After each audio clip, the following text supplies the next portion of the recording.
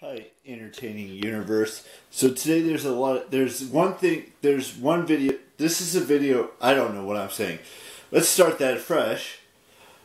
The today's vlog is going to be about a piece of information about an actress that I've seen some of her work and uh, some of others of her other movies or TV shows or things of that nature that she's been in. I have not seen.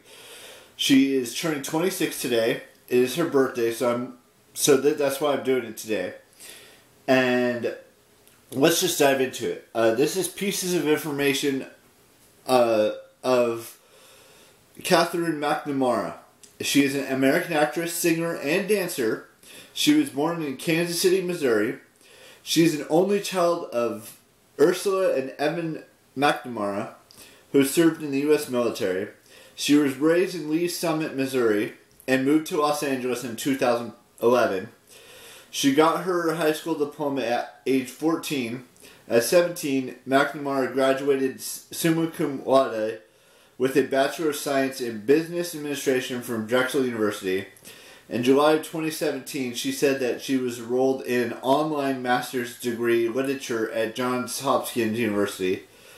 Um, I also said I already said that. She has participated in anti-bullying efforts by describing how she was bullied. That's probably wrong. Describing doesn't sound right. She has been in all these m- films and TV shows I've seen. She was in New Year's Eve, Maze Runner: The Scorch Trials, Maze Runner: The Death Cure, Girl vs. Monster, Arrow, Supergirl, The Flash. She has won two awards and got nominated for two more. The ones she won are People Choice Awards for Female TV Star and Shadowhunter, and TV Choice Awards for Choice TV uh, Sci-Fi slash Fantasy Actress in Shadowhunters. So that's just a little bit about her. There's so much more that you probably can look up that may be a little bit different than or have more information about her than just that. I mean, like I said, she's been in other movies, she's been in other TV shows. She's she's she's pretty smart for who she is. Like I said, graduating high school at 14 is is pretty pretty dang impressive to, in my opinion. And graduating from from Drexel University or any university at the age of 17 is she must be like really smart. And I mean, not a lot of people can say they've graduated high school at 14 or graduated college or university or whatever at the age of 17. But she did it. And you know, that means that she's real she's either super smart or she's, you know, she's smart enough to, you know, graduate early from high school or graduate from university at just 17 years old. And now, I have not watched Shadowhunters before. I'm trying. There's three seasons in total. She plays Claire uh, Frey, or Gray, excuse me, uh, Clary Gray. Um, and she plays Mia Smoak in Arrow. And she's she's she just plays a lot of different characters and a lot of different things. And I have four of her movies actually that I'm I'm going to watch after I finish a few things. Like there's indiscretion, there's the Scorch Trials, there's uh, Natural Selection, and then there was and then New Year's Eve. She's in that movie as well. And she, like I said, she's been in other films as well, not just those ones. Um, and I don't know what else to say about her. She's just an amazing actress. She's an amazing activist for bullying because she was bullied herself. You know, she does all kinds of amazing charity work. It's just there's just so much that this person, this Katherine or Cat or whatever you want to call her, has done in her not only in her acting career, her activist career or her activist activism.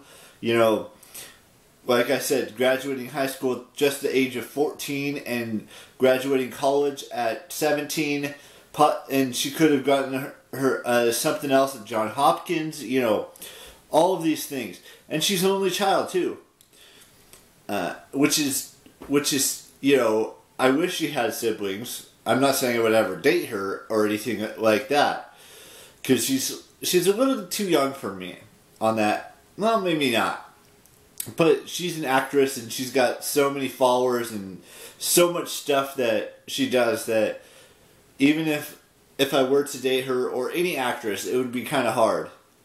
That's all I'm saying. I'm not saying I'm gonna ever do that.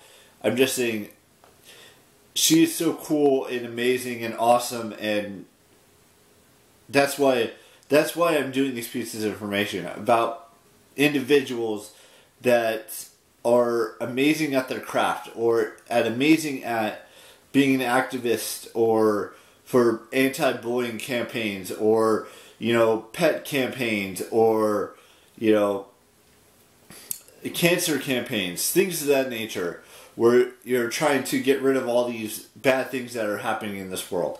Anyways there are other birthdays today as well. I just thought today's piece of information should be that.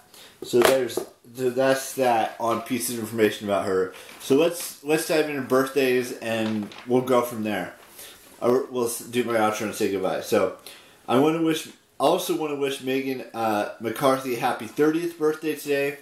And I want to wish who else? Mark Ruffalo a happy birthday as well. So those are the three birthdays we have today. The next piece of information is going to be on no, on Thanksgiving Day. So look forward to that. And I'll keep you guys posted on everything else that's, you know, that's happening between now and then. But the next piece of information that you guys can look forward to is going to be on November 25th, which is Thanksgiving Day.